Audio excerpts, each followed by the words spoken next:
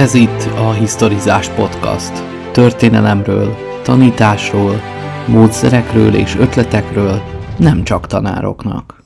Mai vendégem Várnainé Balog Beáta, igen sokoldalú személyiség.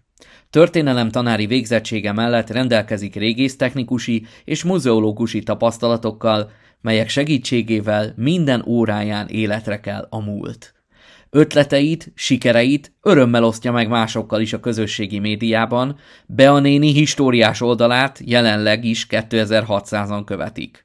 A Haver Alapítvány, mely a zsidóság múltjának hiteles megismertetését tűzte ki célul, idén őt kérte fel nagykövetének. A következő bő fél órában vele beszélgetek majd módszerekről, közösségi médiáról, a gyermekek érdeklődésének felkeltéséről, és a történelemtanítás mai kihívásairól. Miért döntöttél úgy, hogy történelem tanár leszel? Hát ez egy nagyon-nagyon régi történet.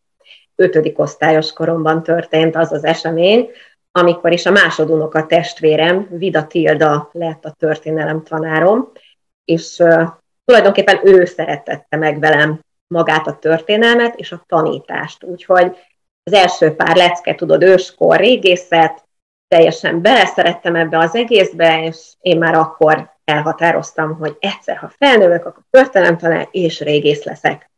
És hát nem tudom a sorsnak, Istennek kinek kell megköszönni, de ez így is történt, úgyhogy a Berzsenyi Dániel tanárképző főiskolán egyszerre tudtam elsajátítani, mint a történelem tanítás csinyát, binyát, mind a régész technikusságot, tehát a régészetbe is bele tudtam tekinteni, úgyhogy mindegyikből van diplomám, most már mondhatom azt, hogy mindegyik a szakterületemmé is vált, hiszen 20 évet dolgoztam a Szavária Múzeumban, és 8. éve dolgozom most már az Rényi Ilon általános iskolában szombathelyen tanárként. Ez a régésztechnikusi vonal, ez nagyon érdekes. Tudnám mondani egy-két élményt, amit megosztanál velünk ezzel kapcsolatban? Persze, természetesen, hát elsősorban ugye Vas megye volt a mi fő területünk, még pápáról ismertem Ilon Gábor régészt, ő kezdte ezt a régésztechnikus képzést itt Szombathelyen a főiskolán. Ehhez egy évet el kellett végezni egyébként történelem szakon, és akkor volt egy belső felvételi, és ugyanúgy kellett belőle államvizsgázni, tehát tulajdonképpen nekem három szakom van, mert magyar szakom is van, bár azt igazából nem tanítottam szinte soha, maximum helyettesítő tanárként, tehát a történelemmel párhuzamosan szombatonként hallgattunk régészettel kapcsolatos előadásokat, illetve folyamatosan jártunk gyakorlatra, tehát ásatásokra. Itt a Vas megyei Múzeumok igazgatósága volt ugye akkor még a területileg illetékes múzeum. Honfoglaláskori sírok feltárásában vettem részt például Lukács házán, Kisgábor régész kollégával, és aztán a római kori belváros lett az igazi nagy szerelmem, Sosztali Csotó régészt tudnám kiemelni, aki egykori mentorom, aztán utána nagyon jó barátom és kollégám lett.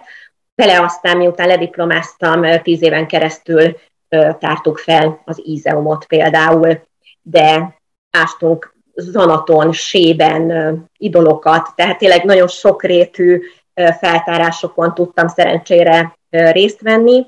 Azt sajnálom, hogy igazából külföldi ásatásokra nem igazán tudtunk eljutni, és ami talán a legnagyobb haszna volt ennek a gyakorlati, gyakorlatorientált képzésnek, az, hogy utána kaptam egy nem csak diplomát, hanem egy életcélt, és fizetést, ami akkoriban nem is volt olyan rossz, úgyhogy a tanári munkát azt én egy év után föladtam, oroszlányon kezdtem el egyébként még 99-ben tanítani, és inkább a múzeumi pályát választottam, és emellett múzeumpedagógiával is elkezdtem foglalkozni, és most, hogy tanítok az általános iskolában, ezt mind tudom kamatoztatni. Tehát egészen másképp beszél szerintem valaki a régészetről, és egyáltalán a történelmek kapcsolatos tárgyak szerepéről a mindennapi életben, hogyha maga ássa, lekonstruálja, leltározza, lerajzolja, lefotózza, mint hogyha csak videókból, képekből lenne egy pici kis fogalma,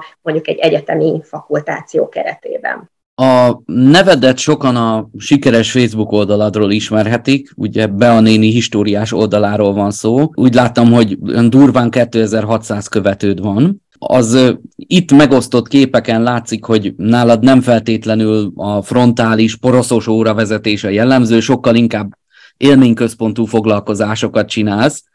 Az óráidon a gyerekek, ahogy látom, rengeteget alkotnak, római páncélt próbálnak fel, makettet építenek, korhű ételeket készítenek. Honnan jött az inspiráció? Ezt is a múzeumpedagógián szedted össze, vagy, vagy ezek között rengeteg saját ötlet van? Én előszeretettel hangoztatom, hogy én elsősorban anya vagyok, és másodszorban pedagógus, és a kettő közé becsúszik a régészet, meg a múzeumpedagógia.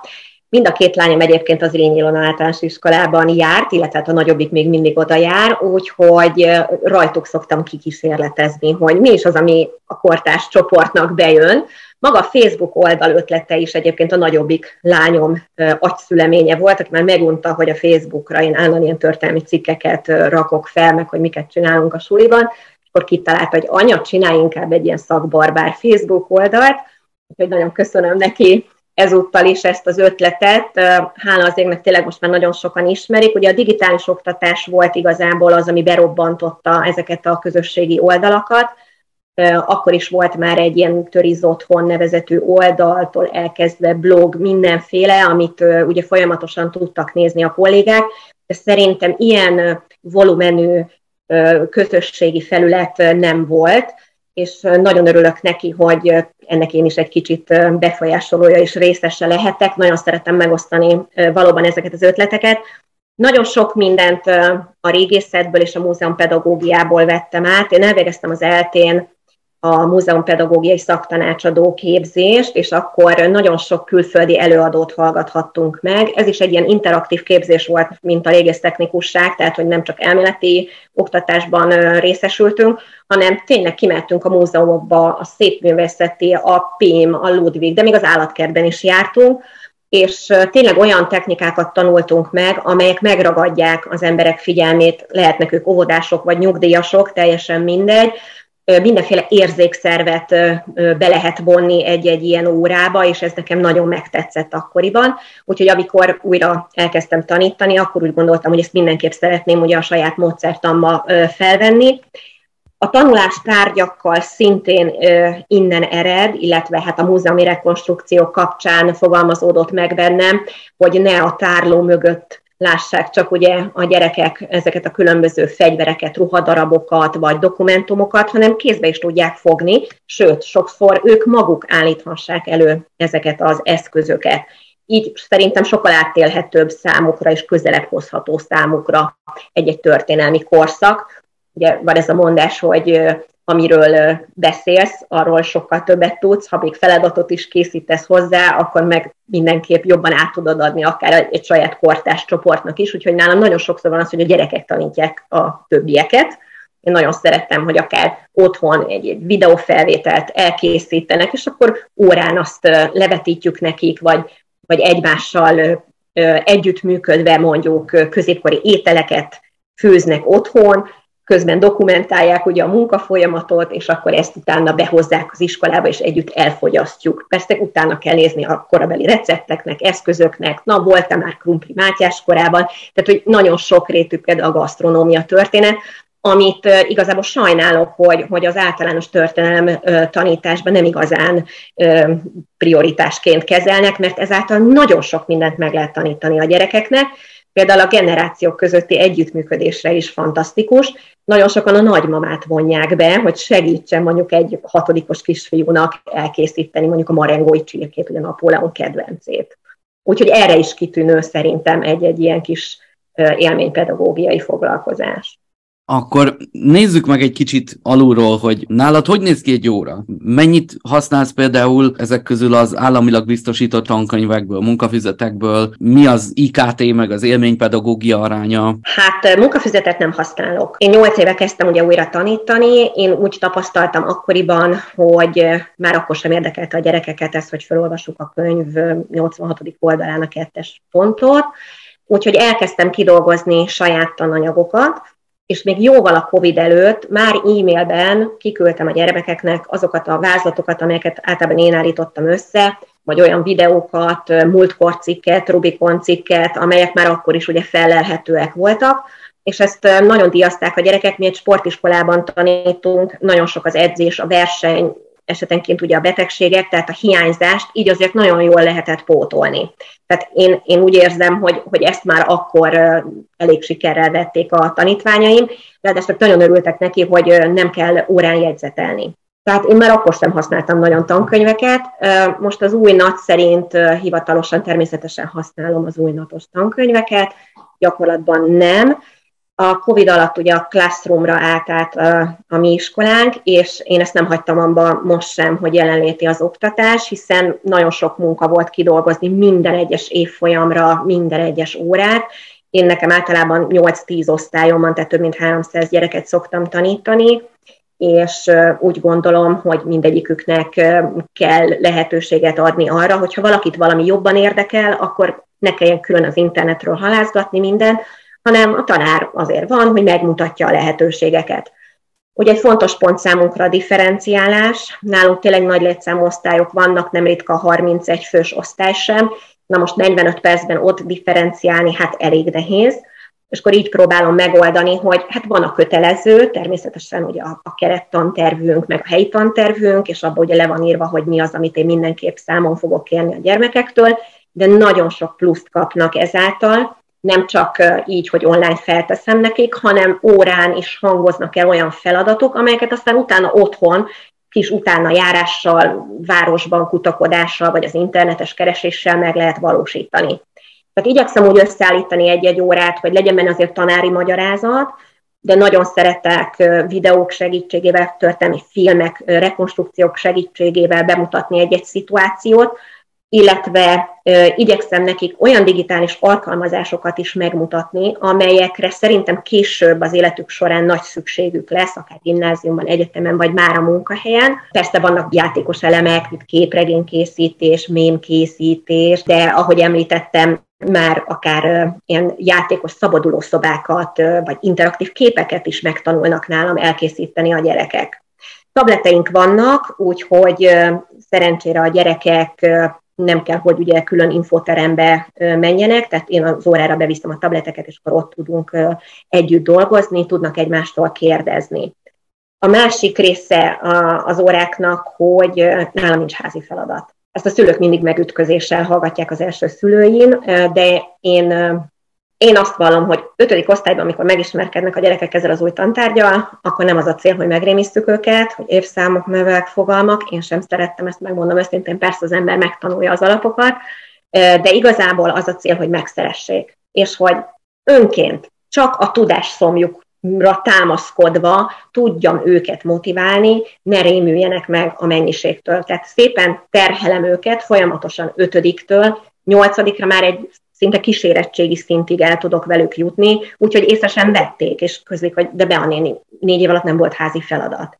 Nem, de ehelyett viszont megcsináltak annyi szorgalmit, amit soha nem tennének meg, ha én ezt ugye kötelezővé tenném.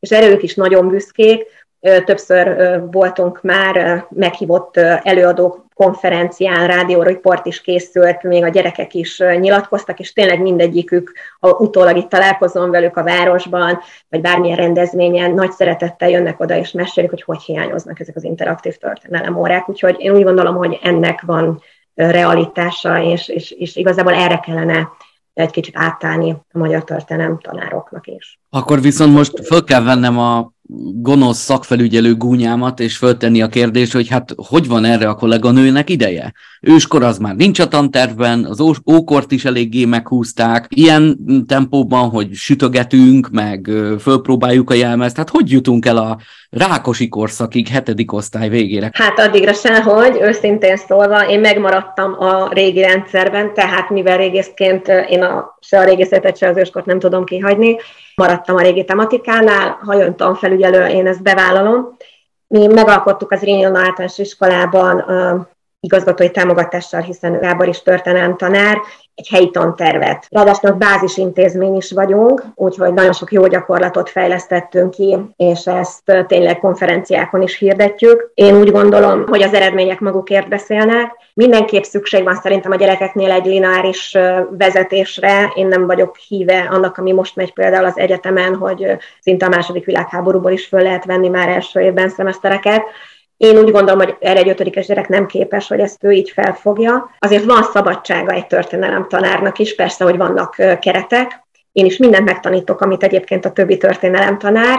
Talán abban másabb a helyzet, hogy otthon nagyon sok mindent a gyerekek maguktól tényleg szívesen megcsinálnak. Mondjuk legyen ez egy makett, és akkor abból csinálunk egy kiállítást. Covid alatt online, most éppen egy római kiállítás van a folyosón, tehát erre nem kell az órán olyan nagy időt fektetnem, de persze kihasználok nagyon sok mindent, és mivel jó a kollektíva nálunk, el tudom őket kérni. Most például úgy volt római légiós óránk, ugye a Szavária Legiót hívom meg én minden évben hozzánk, hogy mutassák be a fegyvereket, és egyáltalán a római hadsereg szervezetét, hogy ugye dupla órát tartok, ami nem lenne egyébként, de elkérem őket testnevelésről, rajzról, technikáról, és hát a kollégák is nagyon lelkesen mindig beülnek és végignézik ezeket az interaktív órákat, úgyhogy én nagyon köszönöm nekik, és én úgy gondolom, hogy ebben van a jövő. Ugye ez egy kicsit ilyen Waldorfos módszer, hogy ilyen tematikusan egy, egy korszakot ugye több területét bevonva, éneket, rajzot, irodalmat, mindent megmozgatva a gyerekek egy kicsit komplexebb képet kaphassanak egy-egy korszakról. Ezt nem lehet valóban másképp megvalósítani, csak hogyha a kollektíva ebben támogató. És nekem azt kell mondjam, szerencsém van, mi egy belvárosi iskola vagyunk, közel van nagyon sok múzeum, és mivel nekem elég kiterjedt ugye a múzeumi kapcsolatrendszerem az elmúlt 20 év miatt, nagyon sokszor tudunk menni múzeumba, ezt is tolerálják szülők is, és ez is nagyon fontos, ugye, hogy ők is mellettünk állnak. Ha nem tudunk múzeumba menni, akkor a volt kollégáim érkeznek az Rényi iskolába, és ők tartanak ilyen helyi múzeumi órákat bent az épületben. Még nyáron is folytatjuk tulajdonképpen ezt a munkát, 20 éve régésztáborokat tartunk a múzeumi kollégáimmal, most már mondhatom, hogy állandóan ilyen 10-15 gyermek van ezekben a táborokban, akik ugye ez rényisek, úgyhogy vannak már ilyen nagy öregek, akik azóta egyetemre járnak, sőt van, aki már régész lesz, úgyhogy elég rendesen bevolondítottuk őket a szakma szeretetével. Ha megkeres téged egy leendő történelem tanár, történész hallgató, aki esetleg gondolkodik azon, hogy ezekben a mostani vérzivataros időkben is megpróbálkozna a tanítással, és hát nyilván nem rendelkezik még akkor a módszertani gyakorlatsággal, ilyen kapcsolatrendszerrel, mint te, mit javasolsz neki, hogyan érdemes elkezdeni? Hát szinte most már minden héten kapok a Facebook oldalra ilyen megkeresést, egyébként nem csak kezdőktől, hanem hála az égnek idősebb kollégáktól is, sőt van, aki nyugdíj előtt úgy gondolt, hogy érdemes változtatni a régi módszerein, és kipróbálna egyet-kettőt azok közül, amelyeket ugye én már régóta használok. Mentorálok is egyébként az eltének a diákjai járnak ki hozzánk az Rényi általános iskolába. Jelenleg is van mentoráltam történelmföldrajz szakos, de volt angolos, volt testnevelés szakos, nagyon nagy szeretettel fogadjuk őket, és nagyon örülök neki, hogy ők már tényleg nyitottak az új módszerekre. Az egyik ilyen hallgatómat külön kiemelném, Rapos Vivien, aki a játékosítás miatt keresett meg engem, Ugye Priávara Tiborral kezdtünk dolgozni a hashtag rendszerben, büszke vagyok rá, az egyik osztályom volt a teszt osztály, és rajtuk próbáltam ki, hogy hogy is fog működni Magyarországon ugye ez a rendszer.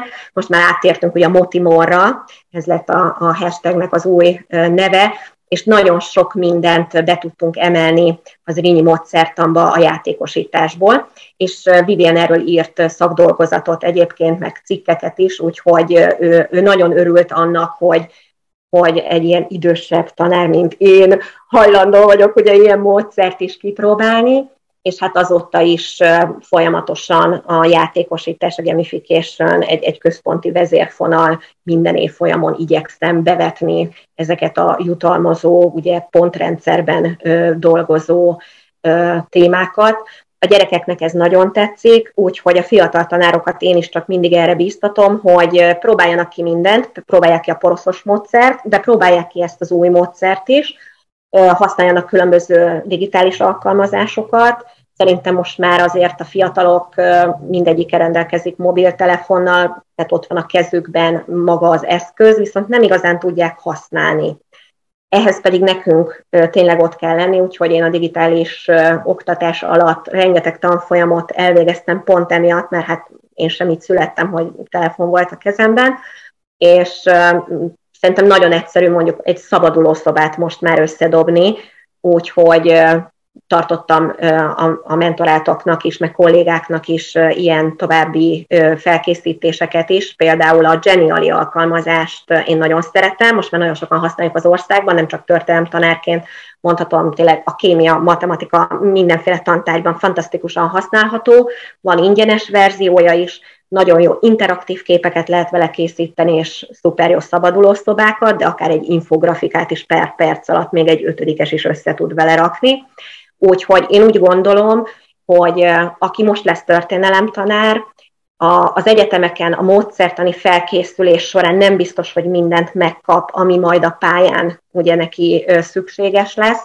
Mindenképp olyan helyet válasszon magának, ahol a mentor szintén nyitott arra, hogy ilyen új technikákat is ugye ott ki tudjon próbálni az illető, és azt is köszönöm, hogy itt az eltén például a módszertani oktatás során például az én módszereimről is beszél az egyetemi kolléga, és búzdítja a diákokat arra, hogy mondjuk a Facebook oldalamon keressenek egy-két ötletet, és próbálják ki a gyakorlatban. Említetted, hogy külföldi továbbképzéseken is részt vettél. Mik a tapasztalataid? Hol tart most a magyar történelem tanítás ebben a régióban? Szerintem hatalmas változás történt az elmúlt három évben. Én azt tapasztalom, Biztos, hogy a közösségi média és a COVID ez egy nagy hajtóereje ennek, de annak örülök, hogy nincs leállás. Nagyon sok jó konferencia van, digitális konferenciák, pedagógus konferencia, vagy említhetném a múzeumi játékmustrát, tehát hogy a kulturális terület próbál egy kicsit így összekapcsolódni.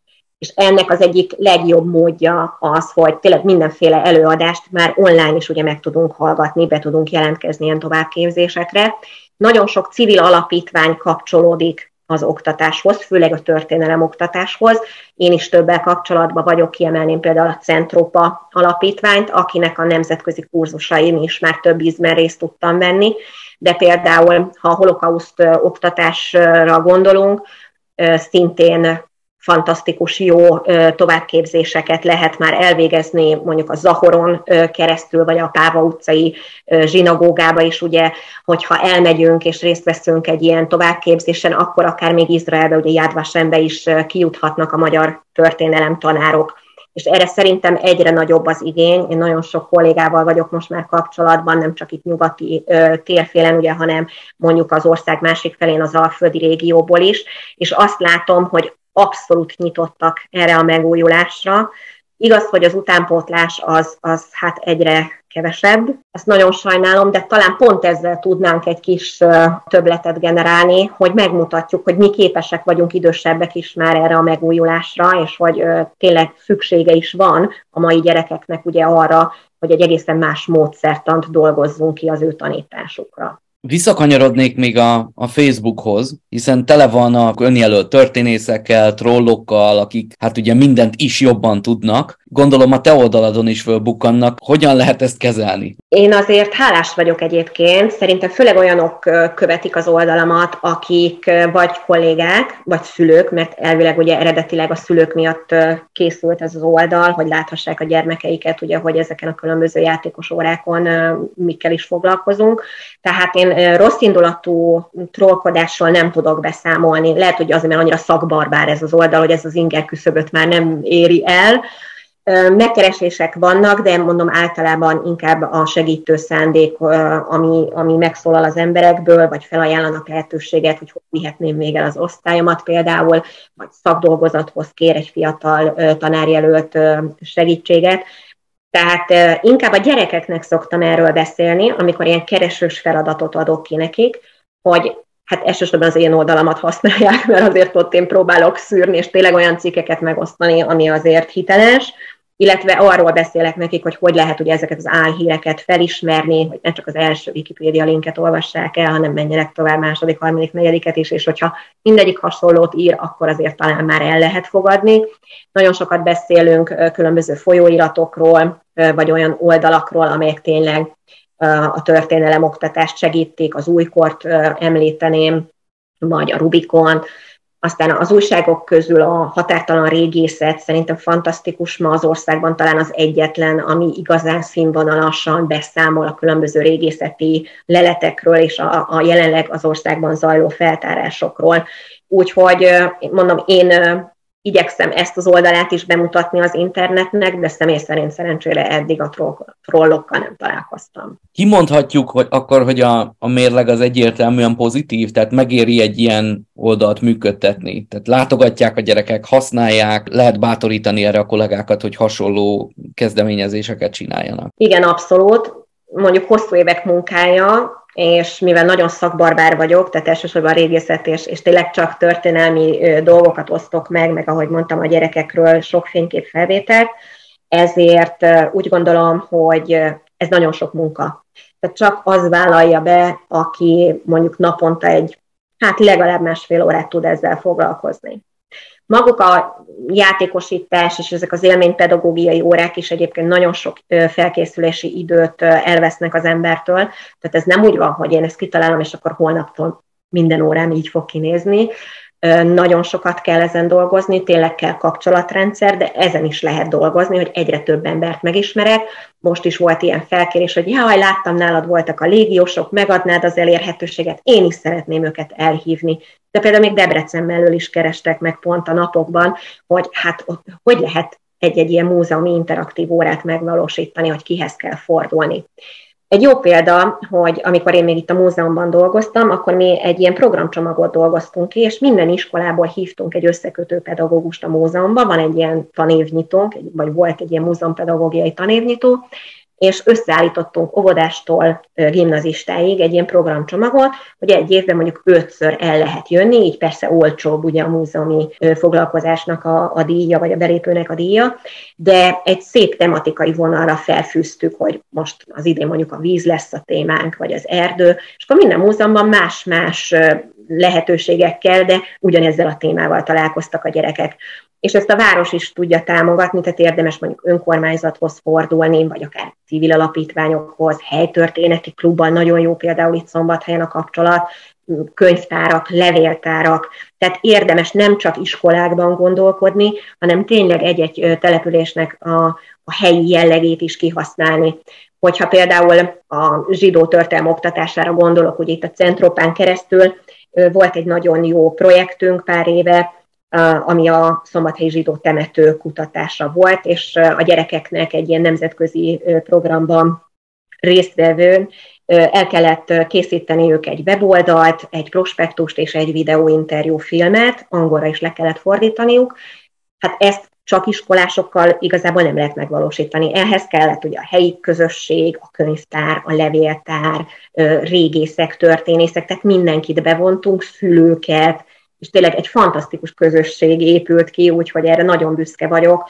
Nemzetközi külön díjat kaptak az én is diákjaim. Csak ámulok, hogy mennyi időd van ezekre a dolgokra, készülésre, de hát nyilván itt látszik is, hogy ez, ez megtérül. Ami még itt a végére engem érdekelne, ezt minden beszélgetés végén fölteszem ezt a kérdést, hogy emléknapok, iskolai ünnepségek, amik hát valahogy nem tudták levetkőzni még a, az előző rendszernek ezt az április négy hangulatát. Ezt hogy lehet jól csinálni, hogy ma megérintse a gyerekeket, esetleg a szüleiket, hogyha megnézik ezt az ünnepséget? Ebben is szerintem nagy áttörést értünk el. Legalábbis nekem ilyen tapasztalataim vannak. Mi mondjuk itt a munkaközösségben megbeszéljük minden évben, hogy ilyen forgószínpadszerűen kikapja és melyik ünnepet, de igyekszünk drámapedagógiai módszereket alkalmazni. Színdarabokat rendezünk elsősorban a gyerekekkel, tehát nem az van, hogy most van három vers meg a hinnusz, hanem tényleg bevonjuk őket, szerzünk kosztümöket és egy kis dramaturgiát is, táncot szoktunk belevinni. Azt hiszem, hogy ezzel azért mindenképp színesíthetjük a palettát illetve nemrég voltam egy versenynek a zsűri tagja, ott például az 56-os forradalom volt az egyik ilyen központi kérdés, hogy hogyan készítenek a diákok maguk egy emlékműsort erre, és hidd el, olyan fantasztikus dolgokat írtak le a gyerekek, én engedélyt is kértem némelyiktől, hogy én ezt szeretném majd megvalósítani. Persze az embernek magától is vannak ugye családi történetei, mondjuk német kitelepítésre sváb vagyok, úgyhogy ez érintett minket, vagy akár a rendszerváltás, és bizony ezeknél az ünnepeknél szerintem nem árt az, hogyha a gyerekek tudják, hogy, hogy ebben mi is benne voltunk. Sőt, az ő családjuk is, menjen haza, és kérdezze meg a szülőt, a nagyszülőt, és akár ebből is már lehet kiindulni egy-egy ilyen emlékműsor kapcsán. Mi az egyik évben például az 56-os forradalomra úgy emlékeztünk, hogy készítettem egy helytörténeti sétát, a gyerekek QR kódokat kaptak, minden egyes fontos helyszínre, ami ugye 56-ban itt Szombathelyen megtörtént, ott keresniük kellett bizonyos információkat, fényképeket készítettünk, és ebből egy ilyen digitális fali újság készült el aztán, és ezt kiraktuk az iskola honlapjára. Ez egy teljesen más jellegű, mint mondjuk egy ilyen nagy színpadi mű, de mivel maguk a gyerekek bejárták a helyszíneket, és kutatómunkát végeztek, azt hiszem talán jobban megértették azokat a folyamatokat, eseményeket, amelyek ugye 56-ban itt történtek a helyi szinten. Hát ezt mondjuk a 48-as márciusival már nehezebb megcsinálni, de ott is vannak szerintem fantasztikus dolgok. Mondjuk én ilyen esetben legtöbbször múzeumhoz szoktam ugye fordulni, itt a Schmidt Múzeumban nagyon jó márciusi 48-as, 49-es történelmi relikviák találhatóak, vannak ruhák, amelyeket föl lehet venni, és a gyerekek kézbe is vehetnek nagyon sok mindent, úgyhogy én azt gondolom, hogy ez egészen más jellegű, mint mondjuk egy iskolai műsor. Tehát nem, én nem ragaszkodnék ahhoz, hogy csak iskolán belül lehet megemlékezni, mozduljunk ki, vigyük ki a gyerekeket a helyszínre, higgyük el, sokkal élményszerűbb lesz, és ők is jobban fogják élvezni, és többet tanulnak meg belőle szerintem. Végezetül, ez is egy állandó kérdésem, de nálad ez már szerintem kiderült, hogy mi a kedvenc témád, gondolom őskor vagy hasonló. Mi az, amire szerinted az általános iskolai oktatásban fölösleges még beszélni? Vagy azt mondod, hogy nem érted, hogy mit keres ott a követelmények között? Akkor menjünk sorban. A kedvenc történelmi korszakom a régész múltamból fakadóan egyébként a római kor, mert én római koros falfestményekből írtam a szakdolgozatomat, úgyhogy ez a kutatási témám, én ugye évekig dolgoztam a múzeumban, és nagyon sok rekonstrukciót tudtunk végre elkészíteni itt Szaváriában is, úgyhogy nem csak Pompejben lehet látni nagyon szép festményeket, hanem itt Szaváriában is. A gyerekeknek erről rengeteget tudok mesélni, sőt, pont most a szakkörön ez lesz majd jövő héten a témánk, hogy ők maguk is festhetnek római kori motívumokat. A másik pedig, hogy mi az, amit nem szeretnék látni a, a az általános iskolai oktatásban, megmondom neked őszintén, nincs ilyen. Persze az ember súlyoz, mindenképp szeretném látni az őskort és a régészetet, tehát én ragaszkodnék hozzá, hogy ezt vegyük vissza az oktatásba. Ugyanígy ragaszkodtam hozzá annak idején a latinhoz. Tehát szerintem egy történelem tanár minimum egy, de inkább két-három, akár négy évig is igenis tanuljon latint. Én még Rito professzorulnál nyelvvizsgáztam latinból, és abszolút tudom hasznosítani. Persze római koros régészként eleve muszáj volt, de az, hogy ne tud elmagyarázni a gyerekeknek bizonyos szavaknak az értelmét, egyszerűen nem hiszem el, hogy erre nincs szüksége egy mai történelem tanárnak, úgyhogy amikor egy régész lett az ELTE rektora, ugye Borhiról beszélünk, ő szombathelyen született egyébként, akkor ugye többször megjegyeztük neki, hogy ez nem lehet, hogy az ELTE és történelem tanároknak nem kell latint tanulni. És hát szerencsére most már újra ugye van ilyen fakultáció, úgyhogy ők is újra tanulnak latint. Úgyhogy én úgy érzem, hogy ötödik osztályban is lehet latinul is már tanítani. Tehát ha, ha ilyen vagyok, akkor tényleg azt kell, hogy mondjam, hogy nincs olyan, amit nem látok szívesen. Más kérdés, hogy mennyi ideig beszélek róla, de kifejezetten olyan, amiről szerintem nem kellene mondjuk hallaniuk, én úgy gondolom, hogy, hogy nincsen.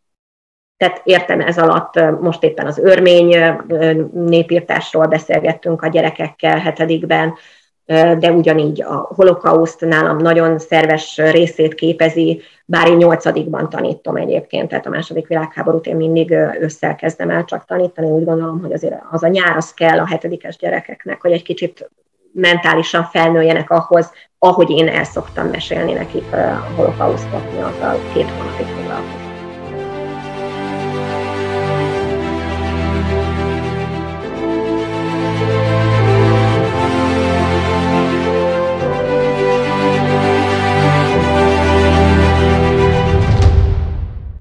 Ennyi volt már a historizás, köszönjük, hogy megtiszteltek figyelmükkel.